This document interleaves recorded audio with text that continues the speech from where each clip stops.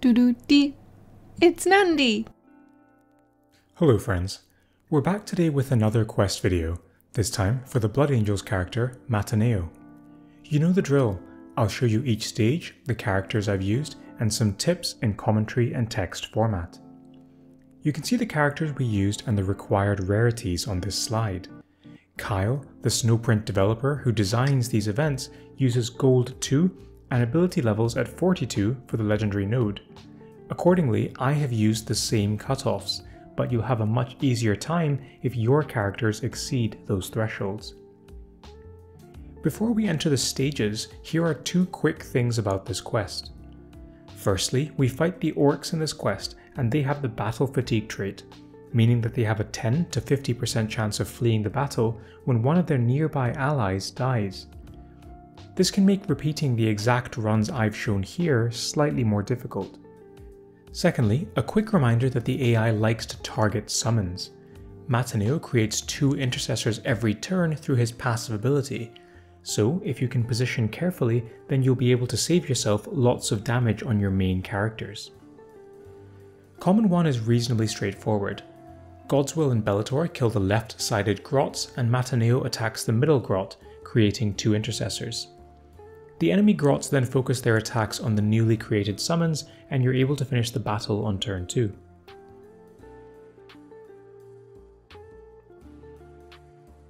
For common 2, we send Vindicta up the left ledge to attack and Mataneo attacks the right flank. Bellator and Certus kill the grot in the middle.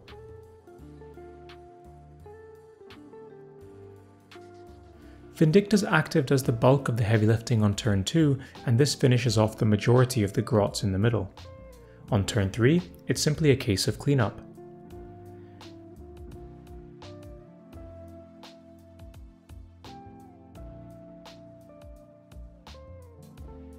Common 3 is tricky and I'll pause for a second for you to copy the positioning.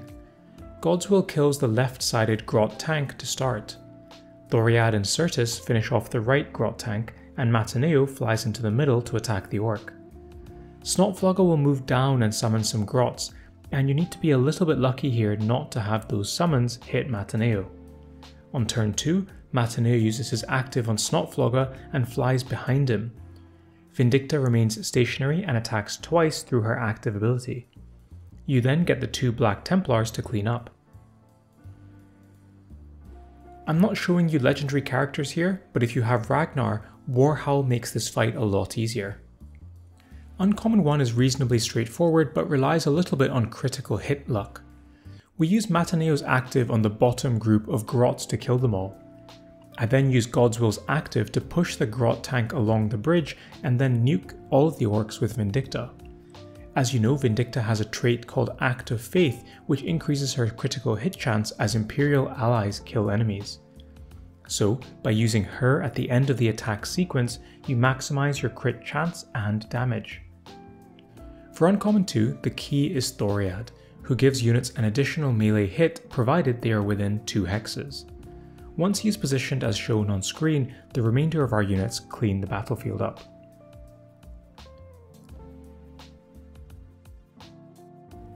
For Uncommon 3, we start with Mataneo's active on the northeast group of Grot tanks.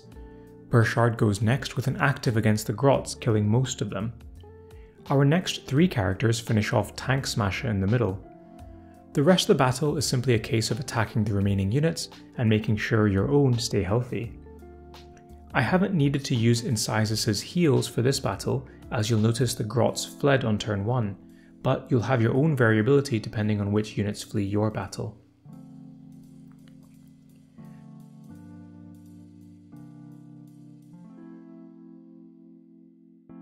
Rare 1 is an excellent example of how the enemy AI prefers targeting the summoned units. The two Black Templars here are just a couple of bruisers, and this stage is enabled by the fact that the Grot tanks keep attacking Mataneo's intercessors. We work through the level as shown on screen.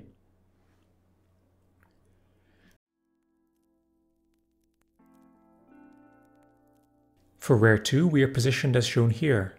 We start with Varro's active which does chain damage to all enemy units in the Gorge. We follow up with Mataneo's active to finish off the bulk of the enemies, and Incisus, who doesn't actually need to do any healing, kills off another orc. The rest of the battle is similar to the previous stage. The Grot tanks focus their attacks on Mataneo's summons, and we finish off the battle without taking any damage. For Rare 3 we use Mataneo to clear the right orc, and Varro and Certus to clear the left. The Grots in the middle advance towards us but aren't able to attack us on turn 1. On turn 2, we use Mataneo's active on the top right group of Grots, and that is the last significant move of the level. We finish off the remaining enemies on our subsequent turn. For Rare 4, the key thing to do is actually stay back and hold position on turn 1. Orc Storm Boys beset us on turn 1, and this positioning allows us to deal with them and heal before turning our attention to the advancing horde there isn't really any artistry and specifics to deal with the rest of the battle. As long as you aren't overwhelmed on turn 1, you can heal and fight through the rest of the enemies. I've left my run on screen here, but your results may vary.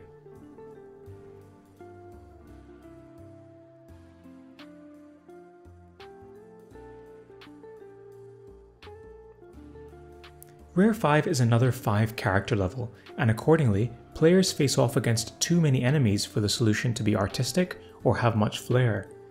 As with the other 5 character levels, it becomes a slog of keeping your units healthy and healed while whittling down the enemy forces. There are a few key moves that I found for this battle.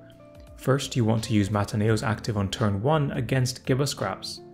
Certus and Varro kill the middle Grot tank, and Vindicta sets some orcs on fire on the bottom left. Vindicta uses her active on turn 2, which should give you enough of a framework to finish the battle relatively easily. You might get slightly different results depending on which orcs flee, but I've left my run on screen to play out in case it helps you.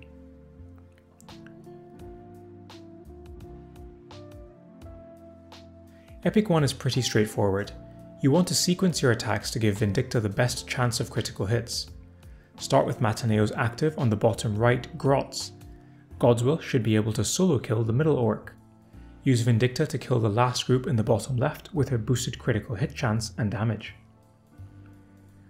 For Epic 2, we face Storm Boys that come flying onto the map. The key to this stage is positioning your units on the high ground on the right side of the map. This way, there are limited hexes from which the Storm Boys can attack you. Once the Storm Boys land, as long as they haven't killed a character, it's pretty easy to finish the fight. The theme of summons distracting the AI continues, and you slowly pick off the enemies while the boys are distracted.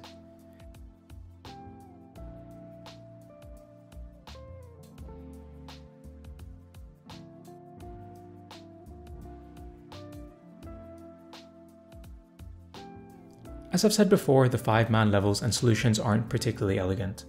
I'm showing my Epic 3 solution here on screen for what it's worth. I use Burchard to free up the middle hexes, and allow Vindicta to use her active to clear both flanks. After that, I use summons to keep the enemy distracted and finish the battle. Be mindful of the storm boys that will come in and likely target your more fragile units.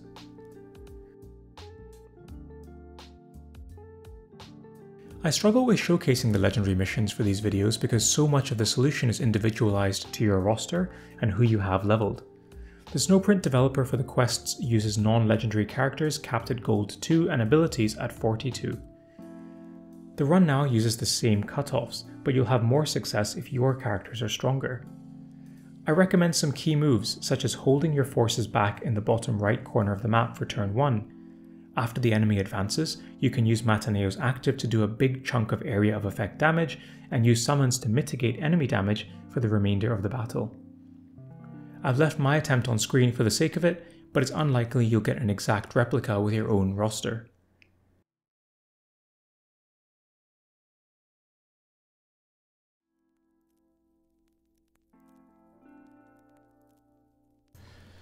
I'll maybe sign off there. I've just started a Patreon for my channel. If you're fortunate enough to be in a position to support me and my content, I'd love it if you could check it out. I want to give all of my current Patreons a massive shout out for enabling me to have a platform to continue doing this sort of work. If not, I've left my refer a friend code here on screen. Entering it earns yourself 100 Blackstone and supports me in the work that I do. It is single use though, so choose who you support carefully. Bye for now. Do do dee. It's Nandi!